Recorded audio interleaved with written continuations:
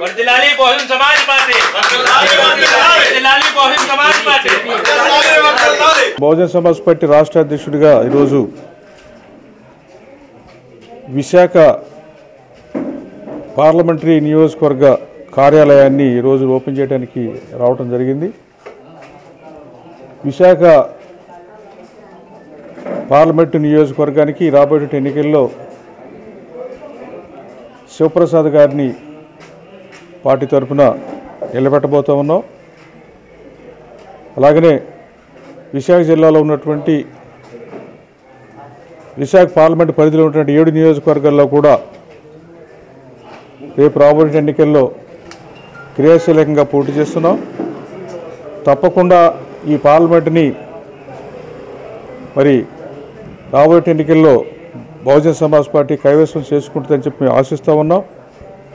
ఆ మేరకు ఈ పార్లమెంటు పోటీ చేస్తున్నటువంటి శివప్రసాద్ గారు ఒక బీసీ సామాజిక వర్గానికి సంబంధించినటువంటి ఆయన. ఆయన తనకున్నటువంటి ఐదు సంవత్సరాల సర్వీస్ని ఒక టీచర్గా వదిలేసుకొని బహుజన్ సమాజ్ పార్టీలో చేరి ఈ రోజున పార్టీలో పనిచేస్తూ రాబోయే ఎన్నికల్లో పోటీ చేస్తూ ఉన్నారు.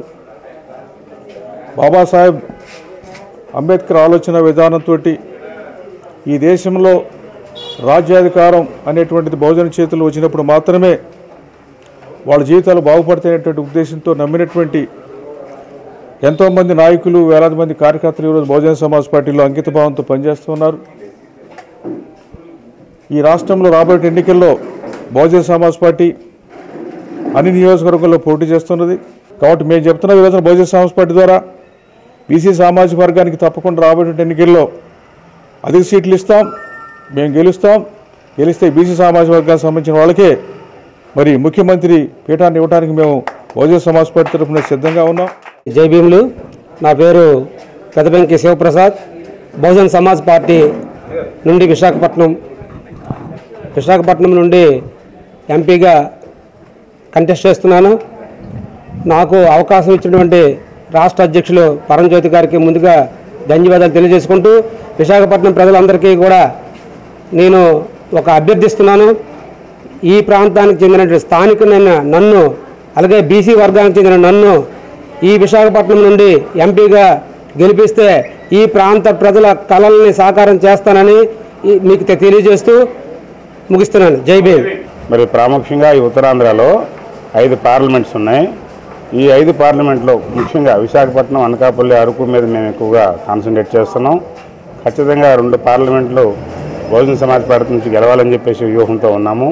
దీనందరికీ మేమందరం కలిసికట్టుగా ఉన్నాం. అందరం కలిసికట్టుగా పనిచేస్తే ఖచ్చితంగా రేపు రాబోయే రోజుల్లో రెండు పార్లమెంట్లు మేము సారు రాష్ట్ర అధ్యక్షులు సారు పరంజ్యోతి గారికి బహెన్జీకి గిఫ్ట్గా ఇవ్వాలని చెప్పేసి ఉత్తరాంధ్ర నుంచి మేమందరం ఐక్యతతో ఉన్నాము. ఖచ్చితంగా సాధిస్తామని చెప్పేసి మీకు చెప్ తెలియపరుస్తూ ఈ యొక్క బహుజన సమాజ్ పార్టీ కేవలం భారతదేశం వ్యాప్తంగా దళితులకు మాత్రమే కాకుండా బహుజనులకు నిమ్న వర్గాల వారికి ధనికులు ధనికులు కాకుండా పేదలు ఉన్నటువంటి అందరికీ కూడా ఈ యొక్క పార్టీ ఎంతో సేవ చేస్తున్న విధానాన్ని మనం చూసాం మాన్యశ్రీ కాంశీరామ్ గారి యొక్క ఆధ్వర్యంలో విస్తృతంగా యొక్క పార్టీ నిర్మాణం ఏ రీతిగా జరిగిందో మనం చూస్తున్నాం. అటు రీతిగానే గత కొంతకాలంగా నిబద్ధతగా ఉన్నటువంటి పార్టీని పరుగులు పెట్టిస్తున్నటువంటి మన రాష్ట్ర నాయకులు బక్క పరంజ్యోతి గారి యొక్క నాయకత్వంలో ఈ పార్టీ దినదాబాద్ మాత్రం ఎంతో అభివృద్ధి చెందుతుంది. ఇంత ఇంత వడ్డీనింతే బ్రహ్మాండం అంత అయినప్పుడు ఏదో నిబద్ధతగా ఉన్నామని అనుకుంటున్నాం కానీ మనలో ఉన్నటువంటి శక్తి బహుజన కులాల యొక్క శక్తి ఈ బహుజన కులాల యొక్క శక్తి చెల్లించవలసినటువంటి బాధ్యత మనందరికీ ఉంది. నాలుగు శాతం ఉన్నటువంటి ప్రజలు మనం పరిపాలిస్తున్నారు. కానీ ఎందుకు ఆ పార్టీలో బానిసలుగా అనేక మంది రాజకీయ నాయకులు ఉంటున్నారో తెలియట్లేదు. ఎంతో మంది రాజకీయ నాయకులు పెద్ద పెద్ద బీసీ సామాజిక వర్గ వారు వారు రాష్ట్ర సీఎం అయ్యే అవకాశం ఉన్నప్పటికీ వాళ్ళకి ఏమాత్రం అవకాశాలు లేకుండా చేస్తారు. ఈ విషయాన్ని బహుజన కులాలు నిమ్న కులాలు అందరూ గమనించి బహుజన సమాజ్ పార్టీ ఈసారి పోటీ చేస్తున్న ప్రతి నియోజకవర్గంలో అత్యధిక మెజార్టీతో గెలిపించి ఈ యొక్క ప్రభుత్వాలకు బుద్ధి చెప్పాలని నేను పిలుపునిస్తూ ఉన్నాను.